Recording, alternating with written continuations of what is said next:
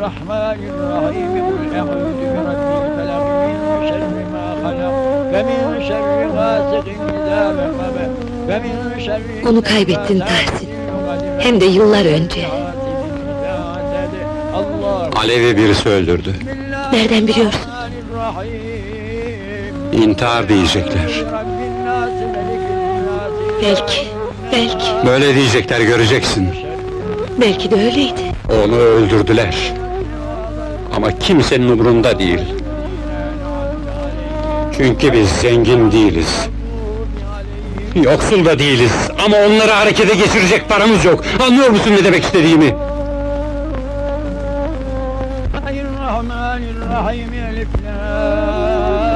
Ne berbat yer bu ev. Burada sadece ölü kızlar var. Madalyalar var, rütbeler var, ölüm var. Genç bir kızın ölümüne kimsenin aldırdığı yok! Çünkü biz bir hiçiz.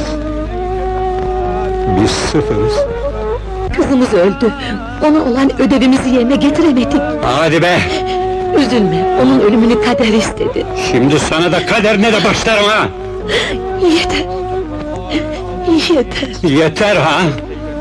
Her insanın en azından şerefli bir biçimde ölmeye hakkı vardır! Tek suçlu sensin. Hiçbir şeyden haberin yoktu. Çalış, çalış, madalyalarınla övün.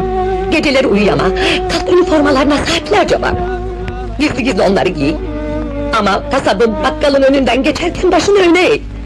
Kızına yeni bir elbise almak gerekirse başını eğ.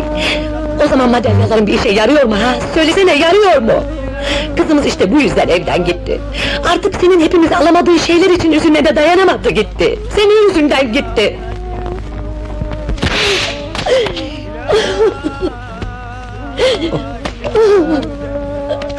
Özür dilerim. Sana vurmamalıydım. Ama ağzından çıkanı kulağın duysun. Kızımı evden ben kovalamadım. Kızcağız bazı şeyler istedi. Sen de olmayanı çocuklardan saklayamazsın. Çocuklar her şeyi televizyonda izliyor. Kokuşmuşluğu, namussuzluğu, yokluğu, varlığı... Herkesin ne numaralar çevirdiğini iyi biliyorlar.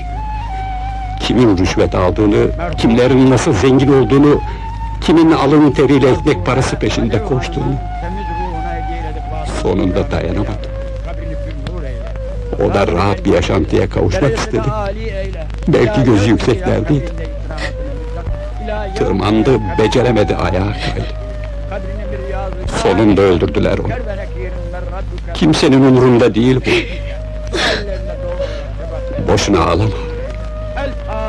Bu namussuz dünyada çocukların ölümüne kimse aldırmıyor.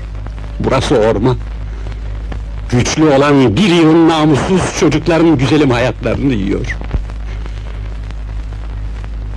Kızını öldürdüler ve ben kimin öldürdüğünü öğreneceğim.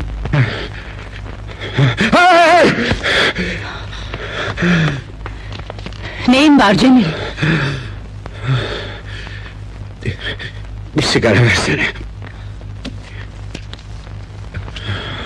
Bir haftada ikinci kabus bu Cemil. Neyin var sevgilim? Hiçbir şeyim yok. Kötü bir gün geçirdim sadece. Hepsi bu. Murat nasıl? İyi.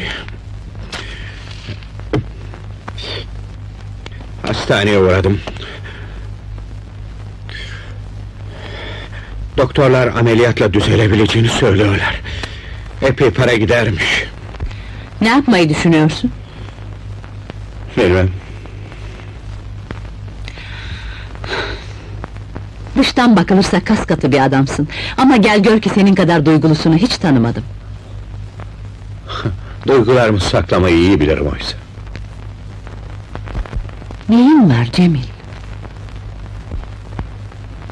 Artık bu işin üstesinden gelebileceğimi sanmıyorum.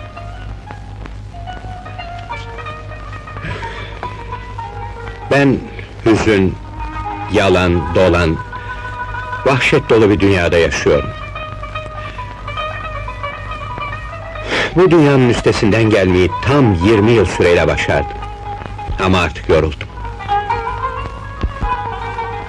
Bu Kabuslar neden Cemil? Seni rahatsız eden bir şey var. Uyurken bile huzursuzsun. Her şey beni huzursuz ediyor. Bozuk düzen. Nereye elimi atsam bir kötülük, bir çirkinlik çıkıyor. Hepsini düzeltmek istiyorum, düzeltemiyorum. Neden küçük kızlar orospudur? Neden onları öldürürler? Neden hapishaneler var? Çözemiyorum bir türlü. Anlıyorsun değil mi? Anlıyorum Cemil. İşte bunun için seviyorum seni. Bismillah ve ala millet Resulillah. Allahümme e'izzu mineşşeytani ve min azabil kabir. Bismillah ve ala millet Resulillah. Allahümme e'izzu mineşşeytani ve min azabil kabir. Bismillah ve ala millet Resulillah. Allahümme e'izzu mineşşeytani ve min azabil kabir. Bismillah ve ala millet Resulillah. Allahümme e'izhu mineşşeytani ve min azabil kabir. Bismillah ve ala millet Resulillah. Allahümme e'izhu mineşşeytani ve min azabil kabir. Bismillah ve ala millet Resulillah. Allahümme e'izhu mineşşeytani ve min azabil kabir.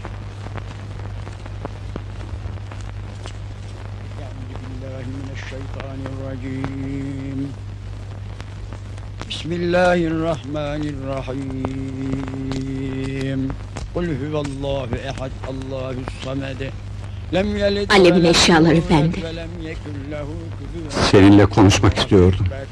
بسم الله Benimle ne konuşmak istiyorsunuz? قل أعوذ برب Yani من شر konuşacak pek bir şey kalmadı gibi geliyor bana. Olsun.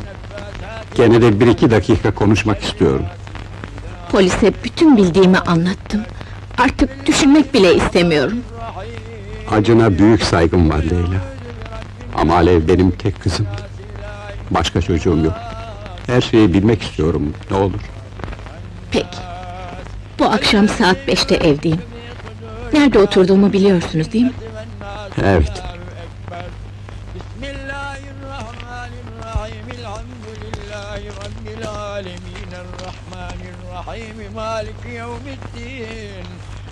Ödeyecekler canım kızım. Sana yaptıklarını fitil fitil burunlarından getireceğim.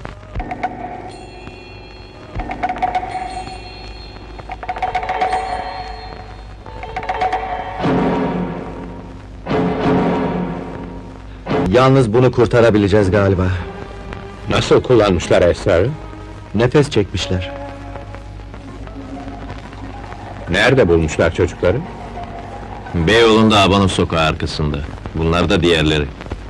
Zavallılar.